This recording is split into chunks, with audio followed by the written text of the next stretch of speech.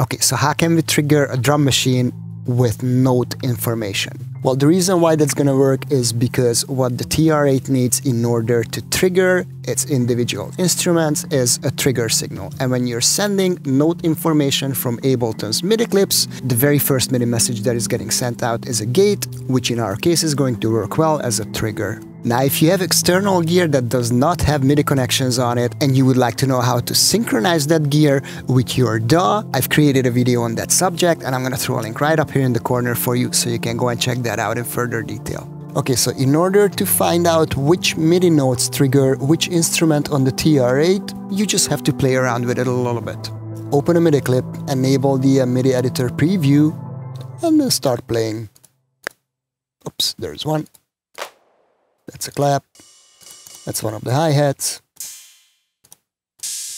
So I've marked it up just outside of our MIDI clip, all the notes that you can use to trigger individual elements of the TR8. And as you can see, it's ranging from B0 all the way up to G sharp 2. Now the order is a bit confusing because unfortunately it's not in the same order as the instruments are listed on the TR8 going from left to right. But once you play around with it a little bit, you're going to be able to find which note triggers which instrument. So let's listen to this very first one, which is our kick drum.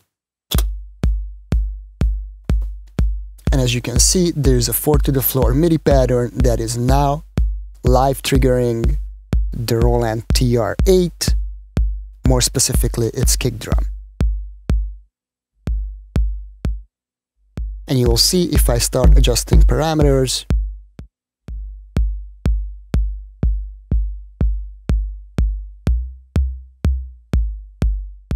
So then what you want to do, you're going to use all the MIDI clips that you extracted and find each and every instrument, which note it's going to be triggered on. And once you have that done, you basically are ready to start recording your drums into Ableton from the Roland TR8 or whichever drum machine you decide to use that has the capability of reading incoming MIDI messages from a DAW.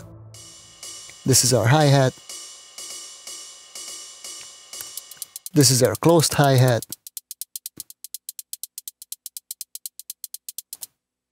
Our snare drum. And like I said, this is coming live from the Roland TR8. This is nothing that's already been pre-recorded. So when you're changing parameters,